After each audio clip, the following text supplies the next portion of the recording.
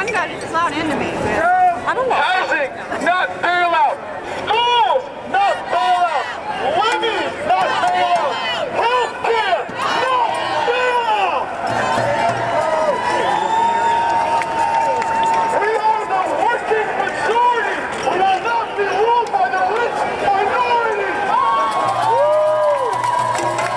There's a sign around here. It says, uh, oh I have a 4.0 GPA.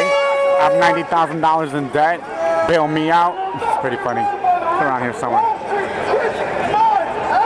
These are the socialists, kind of like communists. Uh, so I don't really agree with that. I'm not a socialist. I'm a capitalist, 100%. But they do have a point. These greedy Wall Street executives over there in the New York Stock Exchange have been reaping as many profits they can. They've been totally messing up our economic system. Now the entire economy of the world is on the verge of collapse.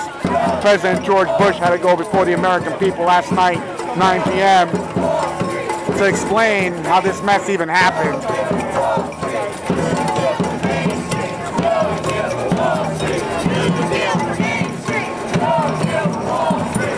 All right.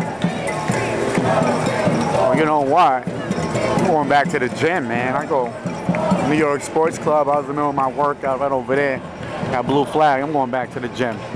All right. Let's end it with this sign right here. It says, no bail, send them to jail.